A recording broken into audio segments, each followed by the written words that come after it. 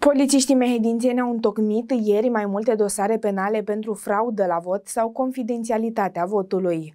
La nivelul Inspectoratului Județean Mehedin s-au primit 14 sesizări referitoare la posibile contravenții sau infracțiuni electorale, majoritatea fiind confirmate în urma verificărilor. De la începerea procesului de votare până la încheierea acestuia au fost înregistrate 14 sesizări cu privire la contravenții sau infracțiuni electorale. Două sancțiuni contravenționale au fost aplicate pentru apelarea abuzivă a numărului unic de urgență.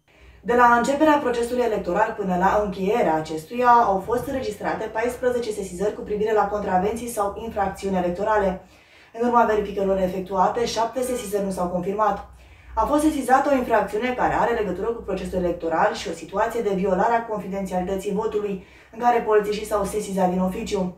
De asemenea, au fost aplicate 5 sancțiuni contravenționale pentru apelarea abuzivă a numărului unic de urgență 112. Poliția municipiului Drobeta Turnu Severin a fost sesizată de vicepreședintele unei secții de votare cu privire la faptul că un cetățean ar avea asupra sa mai multe buletine de vot. În urma verificărilor efectuate asupra alegătorului au fost găsite trei buletine de vot care au fost înmânate din greșeală de un membru al secției de votare. Drept urmare, unul dintre buletinele de vot a fost anulat de comisie. Din punct de vedere al ordinii publice, pe parcursul votului nu au fost înregistrate incidente majore.